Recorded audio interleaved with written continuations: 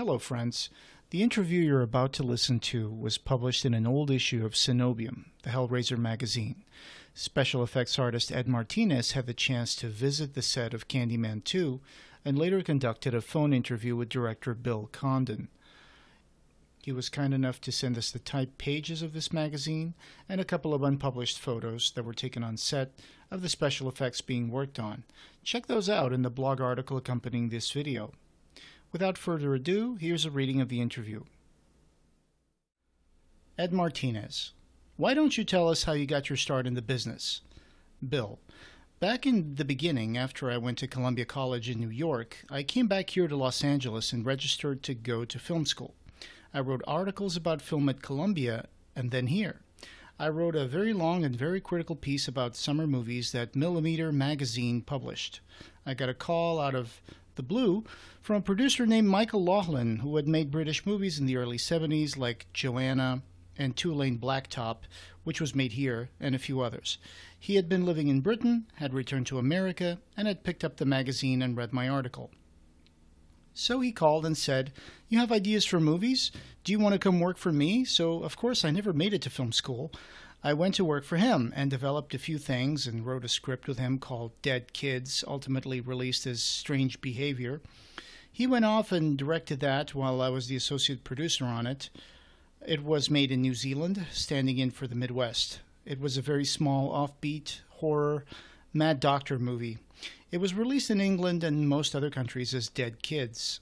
It was fresh after the time when all those kids were murdered in Atlanta, we tried to release it as Dead Kids here in the US, and then New York Times wouldn't take the ad. Subsequently, it became Strange Behavior, which actually was a title I liked better anyway. That was in the early 80s, and then we went on to a second film, Strange Invaders, which I wrote but did not direct. Ed, isn't that the one where it's about a whole town of aliens that look like humans, and at the end of the film, as they're walking on board their spaceship, they peel off their human skin and reveal that they're all aliens? Exactly. And with the making of those two films, that's how I knew I wanted to be a director. So I pursued that for a few years, and about two or three years later, got my first chance with a movie called Sister Sister, which was actually a script that New World gave me called The Louisiana Swamp Murders. It was really kind of a cheesy Friday the 13th ripoff, and I asked them if I could rewrite it. They said yes, and I quickly did. It became kind of a gothic melodrama. I think someone described it as uh, like a Twilight Zone written by Tennessee Williams. We made that in 87 with Janet Jason Leigh and Judith Ivey. That came out, and then I wrote a movie that I also directed on cable called Murder 101 with Pierce Brosnan. I actually got an Edgar Award for it. I wrote FX2, and then I did a bunch of cable movies right in a row. I did a movie called White Lie with Gregory Hines and Annette O'Toole, as well as Dead in the Water with Bryan Brown, Teri Hatcher, and Veronica Cartwright. It's actually the favorite of all the movies I've made, and a film called Deadly Relations with Robert Urich. That brings us up to Candyman 2. It seems I always go back and forth between writing and directing, and of course, Candyman 2 was a movie I didn't write, but directed. Ed, how did that project get into your lap?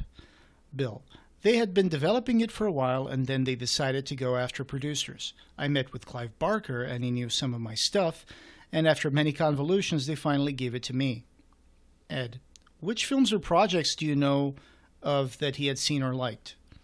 Bill, I think Sister Sister and White Lie. Ed, but not Strange Invaders? Bill, he may well have, because I know in talks since then that he had mentioned it, but since I wrote it, but I didn't direct it, I don't think that it would have told him anything anyway. I think he was looking at the directing. Then I got involved with Candyman 2 and worked heavily on the script with Mark Kruger. He was the second writer on the movie. Rand Ravich was the first. Then Mark Kruger did the final draft. Rand had done many drafts earlier. Ed, what happened in the early phases of pre production? Bill, once we had the script in pretty decent shape, it was a very, very quick pre production period. About nine weeks for a movie that was actually pretty complicated. We shot sort of equally in both cities, Los Angeles and New Orleans, and had quite a number of effects. Almost all of them, except for three, were practical effects, shot live on set. So it was about really honing the script. In the beginning, casting was a bit of a challenge because There's an initial kind of resistance to sequels and horror films in general. So I was calling in favors, trying to get people like Veronica Cartwright, who I had worked with before. We saw a lot of actors and actresses. Uh, Kelly Rowan for the lead just popped out. She was wonderful. Ed, was the film storyboarded? Bill, much of it was. I had the thickest notebook I've ever had making a movie. Every effect sequence was storyboarded. I would say easily 40% of the movie was storyboarded. Ed, including the whole ending sequence uh, with the model and everything? Bill, the entire ending sequence. There were a lot of special effects. A company called Introvision built some models, and we had three different sets on a soundstage. Ed, with all the water and mud? Bill, exactly. But really, it was a logistical nightmare. You know, finishing up every day and going over to the storyboard and putting a big X through it and being thrilled to be finished with that shot, getting somewhere with it. Ed, who did the storyboards for you? Bill, a woman called Janek Kushnick. After casting, did you have to go out and scout locations? Oh, yeah, in New Orleans, which was a thrill. I'd worked there before on Sister Sister, but the whole movie was about the birthplace of Candyman and how it sort of claimed him again. You know, when you go to New Orleans, it sets the entire mood. The story of that city is nature reclaiming its own. It's vines and branches of trees growing up out of the sides of buildings. Ed, very gothic feeling? Bill, yeah, just great. What I like about the script and the reason I got involved in this movie in the first place is because I'm a very big fan of the first movie. But this script was its own story, and I would say that this script is very diametrically opposed to the style of the first. I love the first. I love the way Bernard Rose looked around and said, What does a haunted house look like today? What's a place where we are really going to be afraid to step into? And those tenements in Chicago's Cabrini Green are really scary. That was brilliant. Nothing's really scary anymore, and I thought it was very interesting, a completely original take on traditional horror conventions. This movie is a family melodrama that I think goes maybe a little deeper into some of the racial dynamics that were suggested by the first movie, but visually, instead of a daylight realistic approach, it sort of demanded giving into the gothic. I actually think that some people who, who have been disappointed in the movie compared to the first one are responding to that. It is so different, and it does actually play with what I consider to be classic conventions in horror movies. But people who are less charitably inclined would call them cliches. For example, instead of Cabrini Green, we have a sort of haunted mansion and a cemetery. I love going back to basic stuff like that. Ed, tell us a little about the shoot in New Orleans. Bill, it wasn't that bad, really. We sort of lost it by the time we got on the soundstage here in Los Angeles and we're dealing with bugs and bees and water. New Orleans was fairly easy because almost everything we were shooting was in the French Quarter. What we tried to do there was avoid a tourist's view of the city. First of all, a lot of it was set in poor neighborhoods, which are just as bleak as anywhere on the face of the earth, so it was scary sometimes to shoot in places in the middle of the night. Ed, how many days and nights were you on location there? Bill, oh, about 20, I guess, and many, many nights. The other thing is that Mardi Gras in the last 30 years has become very commercialized and it has big corporate sponsors. There's huge floats now of Mickey Mouse and stuff like that. They don't go through the back streets of the French Quarter anymore. So we found a guy called Henry Schindler who has devoted his life to preserving Mardi Gras as it was before 1960. All of the materials we use in the movie, the costumes, and especially the paper mache floats, are from the turn of the century, either the actual ones or reproductions. We really try to give it a kind of feel of old world, a sort of carnivale feel, instead of the more commercial stuff they do today. Ed, was it very expensive to get his services? Bill, no, it wasn't. I think he was thrilled because it, it drives him crazy that all the film people come into New Orleans and use the same Mardi Gras guy all the time for their films. He was thrilled that they were using him. So he actually became a great asset to the production and saved us a lot of money. Ed, does he have a big warehouse to store all the floats and stuff like that? Bill, he has a small one. The other guy has a big one, but he has a small place where he keeps it all. There were some great images and other things that he provided us with. Icarus falling from the sky and other things that he would give us. He suggested that we use this great pan float that he has with a huge penis. It's hard to see in the movie, but it's in there. Ed. So there's quite a lot of symbolism there. Do you want to tell us any other anecdotes about the New Orleans part of the shoot? Bill. We were staging a fake Mardi Gras because we didn't shoot during the real Mardi Gras. We scheduled this for all night shoots, dusk till dawn. It was hard to hold on to any of the extras after the meal break. It came around midnight or one o'clock, and because there were so many bars around, we found that by the end of the meal break, there'd be no extras left. That became a big problem for us. People are very dedicated to having a good time down there. Ed, can you tell me about the sequence involving Candyman's origin, where he gets his hand sawed off and the bees kill him? Bill. Yes, it's odd because the action is like a lynching. The, the, the mind immediately assumes that you're somewhere in the South, but actually we're flashing back to the setting of the first movie, Cabrini Green, Chicago. The setting of this film, the sequel, began in New Orleans, which was his birthplace, and then made its way to Cabrini Green, where the character dies. So the first challenge is finding anything that would suggest the wide open expanse of Chicago of the 1890s in modern day Los Angeles. The only thing we did find is one field that reminded me a lot of the type of fields that are in the in the film Days of Heaven. So that became our sort of look more than anything else. You know, where Cabrini Green was in the 1890s was actually a place called Helltown, which was a ghetto for Italian immigrants that was really quite dangerous if we had done it realistically, it would have to be more of a kind of quasi industrial town like setting. But I didn't think that would look right, so we went with the more mythical open field like the Midwest. Ed, can you tell us about working with live bees on location? Bill, I remember from our last production meeting, we got a lecture from Dr. Norman Gary, the entomologist. There had been very few stings on the first film, and of course, Virginia Madsen who's allergic to bees. Even she felt comfortable doing all this because she hadn't been stung. And somebody piped up and said, Well, you know, she hasn't come back to do part two. It may have been true. Um, they had very few stings on the first film, but in ours, I think there were unfortunately plenty of stings. It was never pleasant, especially for poor Tony Todd and Billy Washington, the stunt coordinator who doubled for Tony Todd. I thought it was amusing because Billy is this incredibly macho, brave guy who described how he did a high fall stunt where he jumped 10,000 feet from a plane onto the tarmac with only a deceleration cord stopping him a few feet from the ground.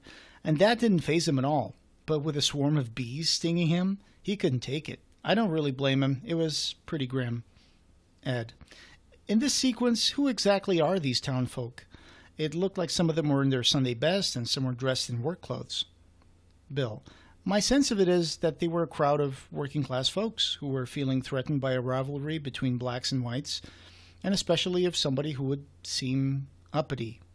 Daniel Robitaille, uh, who was the person who became Candyman, was a well educated black man who went to school in Europe. They felt that he was trying to rise above his station. Their hatred was spurred on by the father of Caroline, Hayward Sullivan. He was a sort of wealthy baron type who wanted to destroy Robitaille for having an affair with his daughter. Ed, I found it disturbing to see children present in this scene mutilating and murdering this black man. Bill, I, I find that so eerie. It, it seemed especially chilling that young boy who first calls Robitaille Candyman has such an innocent face. This whole movie was such a metaphor for racism. It's the sort of guilt we carry from our past. Ed, tell me about the special effects shots. Bill, we used Introvision for a dream sequence where the heroine goes out into a balcony, of which we shot the reverse angles in New, New Orleans. When she turns around, she suddenly sees Candyman caught in the mirror. It's really the glass of the door. I wanted to get a sense that he was neither behind the glass nor reflected in it, but that he was the glass itself. It's hard to get that idea that he lives in mirrors or in glass. So that without giving anything away to our readers, uh, by the time we get to the climax of the film, what happens kind of makes sense. The only way we could achieve that effect was through the use of the introvision process. Gary King, the effects cameraman, created the effect in camera using a device called a beam splitter. That's the process by which a man is standing in a blackened booth, so to speak, and there's a 90 degree angled mirror, which is half silvered. This is the, ble- the beam splitter and they can use the dialing up of a dimmer on the light in the blackened booth so that he is either transparent or appears to be solid depending upon the way you want the shot to be seen. The ghostly image of Candyman whispers eerily as he appears only a few feet away from our heroine, But then his image fades away completely, replaced by the painting, which is a portrait of his lover Caroline Sullivan, which he painted in the 1890s. The painting also fades away to reveal the ordinary glass. Ed, what kind of other shots were done with Introvision? Bill, the bulk of the other shots were of the slave shack, where Candyman was born, being swallowed up by the Mississippi, and, and that involved models, which were built by the Introvision art department. Ed, how did you come to use the company that you chose for the makeup effects? Bill, we just met with a lot of people.